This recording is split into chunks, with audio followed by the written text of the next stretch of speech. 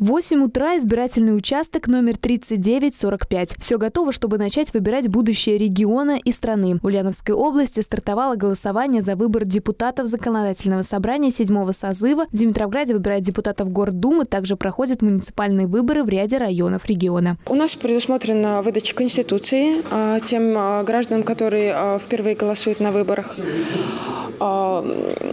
Ну, процедура такая же. Они подходят с паспортом, к уполномоченным нашим членам избирательной комиссии а, и непосредственно могут проголосовать, получить бюллетень и посредством тайного волеизъявления заполнить бюллетени и опустить их в урну. В этом году голосование продлится в течение трех дней – 8, 9, 10 сентября. Последний выбран днем единого голосования. В воскресенье ожидается самый большой поток избирателей. Каждый житель страны выбирает свое будущее на ближайшие несколько лет. Для голосования необходимо иметь только паспорт гражданина Российской Федерации. Выборы – это один из институтов власти, э, который, э, скажем так, избирается народом. Поэтому мы живем в одной большой красивой стране.